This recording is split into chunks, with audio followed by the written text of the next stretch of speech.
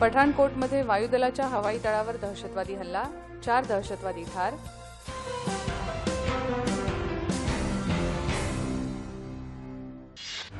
जप्त केलेल्या एक लाख बारा हजार टन डाळी केंद्र सरकार किरकोळ बाजारात विक्रीसाठी उपलब्ध करून देणार.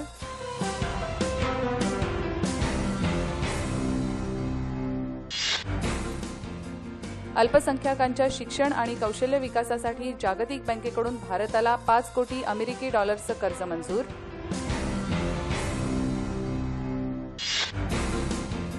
सेन्सॉर बोर्डाच्या कामकाजात सुधारणात्मक फेरबदल करण्यासाठी चित्रपट दिग्दर्शक श्याम बेनेगल यांच्या अध्यक्षतेखाली समिती स्थापन.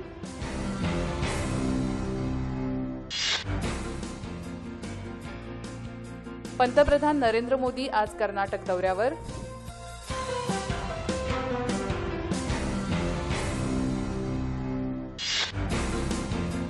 स्वयंपाकाच्या गॅसप्रमाणेच आता केरोसिनवरचं अनुदानही केंद्र सरकार ग्राहकांच्या थेट खात्यात जमा करणार. निर्णयाची अंमलबजावणी एक एप्रिलपासून. केंद्र सरकारतर्फे दोन हजार सोळा हे एलपीजी ग्राहक वर्ष म्हणून घोषित. दोन हजार अठरापर्यंत प्रत्येक घरात सिलेंडर उपलब्ध होणार.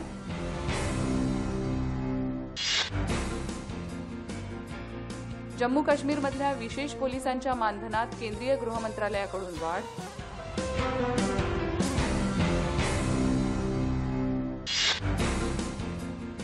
आपापल्या देशातील अणुभट्ट्या आणि अण्वस्त्रांची उपलब्धता याबाबतच्या माहितीची भारत आणि पाकिस्तान दरम्यान काल आदानप्रदान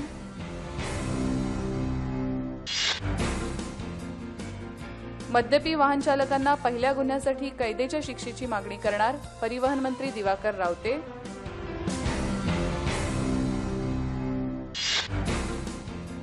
समृद्ध जीवन घोटाळ्यामध्ये राष्ट्रवादी काँग्रेसच्या बड्या नेत्यांचा सहभाग भाजपचे खासदार किरीट सोमय्या यांचा आरोप.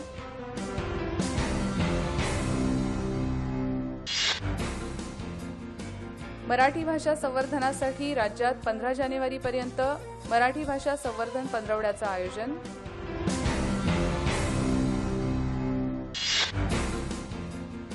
कापसावर पडणाऱ्या रोगाचं निदान करण्यासाठी औरंगाबादमध्ये एमटेक अभ्यासक्रमाचं शिक्षण घेणाऱ्या विद्यार्थिनीनं केलं सॉफ्टवेअर तंत्र विकसित.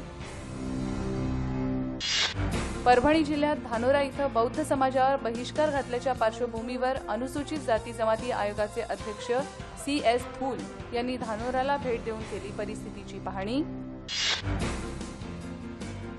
व्हायोलिन अकॅडमीतर्फे पुण्यात स्वरसंकार महोत्सवाचं आयोजन. उद्यापर्यंत चालणाऱ्या महोत्सवात दिग्गज कलाकार सादर करणार कला. जागतिक मंदी आणि दुष्काळी परिस्थिती असली तरी भारताची जगातली सर्वाधिक वेगानं विकसित होणारी अर्थव्यवस्था म्हणून घोडदौड. मुख्य आर्थिक सल्लागार अरविंद सुब्रमण्यम यांचा दावा.